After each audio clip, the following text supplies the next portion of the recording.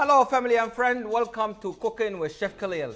Today, I'm gonna introduce to you this amazing veal tenderloin. This is not your typical tenderloin that's called beef tenderloin, which is red color. This is a pink, beautiful piece of meat. That beautiful meat will literally melt in your mouth.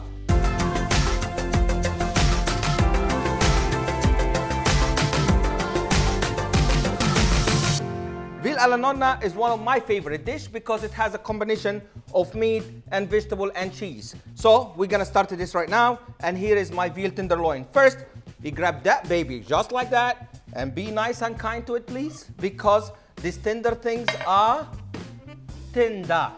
That's what they call it, tenderloin. Here we go, so we got a knife and what you wanna do is literally cut it into an even thickness. This way, while you're cooking it, it doesn't have one that's cooked extra and one cooked less. So an equal thickness as much as you could possibly can. And actually what I want today is only two or three pieces all day. I don't want too many of them. I just want to keep that baby for a future roasting. This baby can be amazing roasted in the oven with some rosemary and some other dishes. We'll talk about this later. So we'll keep this here for now. And I'm gonna finish up my veal alla nonna. So now we get all our veal pieces cut evenly right here. And what are we gonna do? Just a little pat on it to make it all equal. Okay, this is doesn't need no hammer, doesn't need no uh, strong muscles or anything. This is a veal tenderloin. One more time, I'm making sure everybody aware of what we're doing here. Here we go. So we got our three pieces of veal tenderloin together. In a hot searing pan, what you want to do is sear your beautiful veal tenderloin. Here we go. You put a little bit olive oil in the bottom, pump up your stove and be very careful and gentle. Keep your hand away from the oil and put your veal in the pan.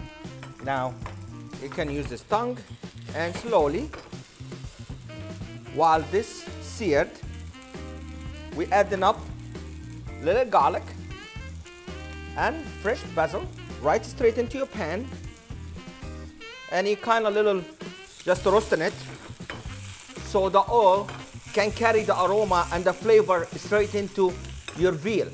So here we go. I'm turning the other side of my veal and check this out. Be very careful as you're doing this at home because what's coming is some beautiful white wine and flames. And I mean beautiful flames, my friend, because this home is gonna smell of love and feeling. So we're gonna just burn out all the alcohol from your wine and get the veal all full of aroma and taste and top up with some little bit of napolitana right there, such as that, just nicely and gentle. Now we have that tomato flavor mixed in with the garlic, basil, white wine, and we're gonna top this all up with some beautiful eggplant, roasted eggplant right there. One, two, and three pieces of eggplant and some beautiful roasted capsicum. And if you think this is the end of the game, you are mistaken, my friend, because the game still have some more moves and touches.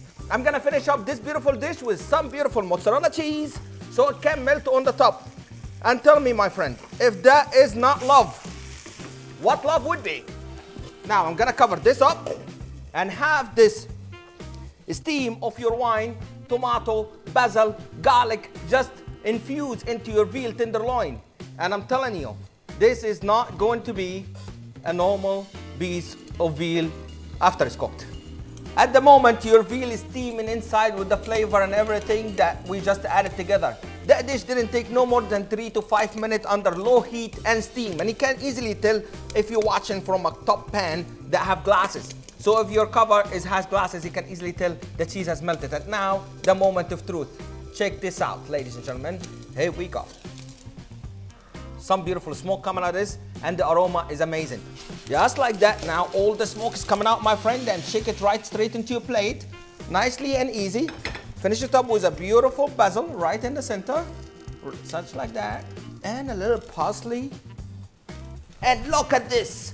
This is a beautiful veal tenderloin. I call that dish veal alla nonna. If your nonna with a daughter, she doesn't even need to wear one. That will melt in her mouth. Veal alla nonna.